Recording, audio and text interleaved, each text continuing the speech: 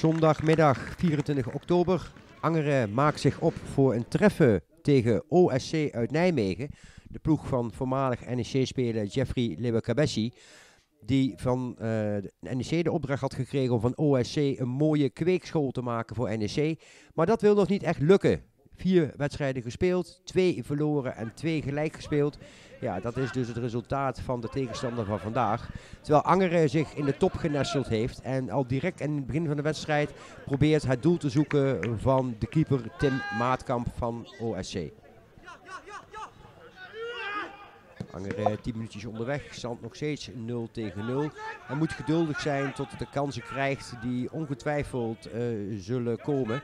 De eerste bal voor de tegenstander wordt makkelijk opgepakt door Buurman, de keeper die, ik verklap het maar vast, een redelijk rustige middag zal gaan hebben. Aanval weer van Angeren via de rechterkant. Een prachtig lopje van Niels Klein over keeper Maatkamp heen.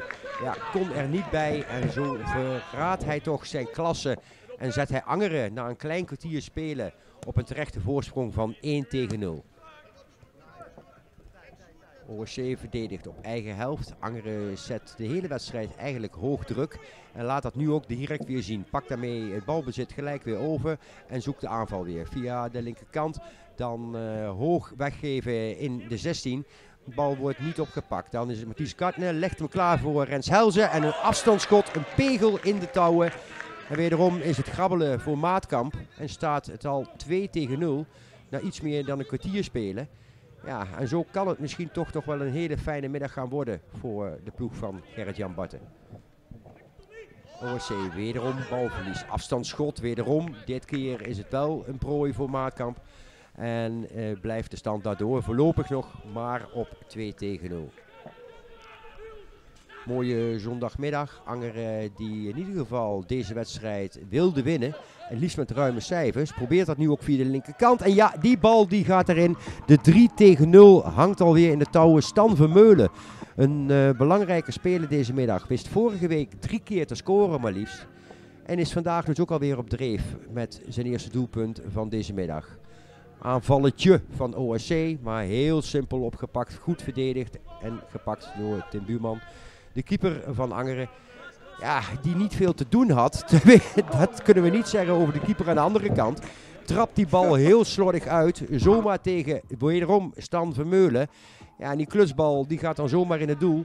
Ja, en is het na een klein, uh, een dik half uur spelen moet ik zeggen, alweer 4 tegen 0.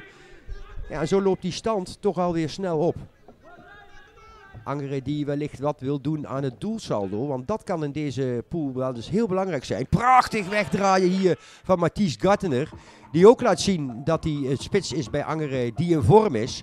Draait perfect weg, schiet hem hoog in het dak. Ja, zo gaat Angeren met een prachtige stand van 5 tegen 0 maar liefst gaan ze rusten. Ja, dan is het zo vaak in die tweede helft een beetje een wedstrijd die als een nachtkaas uitgaat. Gerrit-Jan Barten, de trainer van Angeren, heeft echt eh, erop gehamerd dat Angeren door moest drukken.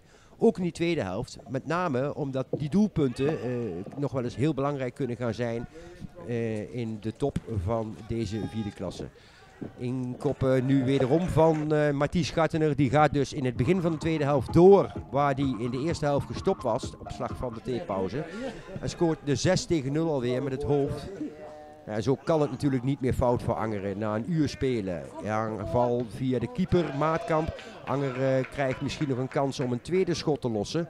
En dan de, de score nog verder te doen oplopen. En ja hoor, hij zit er alweer in. De zevende treffer. En wederom uh, Rens Helzen met een vergelijkbaar schot zoals hij het ook in de eerste helft deed. Ja, en wil het publiek de 10, de 10, de 10 zien. Maar eerst deze kans nog voor OSC, waar Buurman, moeten we zeggen, toch eventjes mis zat. Gelukkig maakte hij geen overtreding, waardoor uh, het maar bij een kansje van OSC bleef. En is het weer Angeren aan de andere kant. Stan Vermeulen wederom met een uh, prachtige voorzet die hij geeft op Gartener. Hij uh, had een aantal assists vandaag in petto en liet hij ook mooi zien. En een aantal treffers, twee treffers al. Ja, en dit is ook weer een mooie gelegenheid voor Angeren om die achtste te noteren. Maar die blijft nog eventjes uit. Ja, zo gaan we die 10 dus niet halen met nog vijf minuten officieel te spelen. En is het Angeren die wel blijft voetballen. Dat moet ook gezegd worden over OSC hoor. Het was een ploeg die zeer matig was, maar bleef wel voetballen. En ehm, dat siert ze wel. Mogelijkheid nog voor Angeren. Oh, prachtig hakballetje weer van Stan Vermeulen. Die bal die is makkelijk voor het eh, afwerken door Niels Klein. Die ook daarmee zijn tweede treffer heeft gescoord. Ja, en zo doet Angeren hele goede zaken in de top. Komende twee wedstrijden worden heel erg spannend. SCE en Kraaienhof. Dat zijn de twee concurrenten van Angeren die nu eh, bovenaan staan. Evenveel punten als Angeren. Alleen Angeren leidt op basis van doelsaldo. En wil dat blijven doen. Het is Angeren die eh, een hele goede middag had. En dat kunnen we niet zeggen over OSC. Angeren wint met 8-0.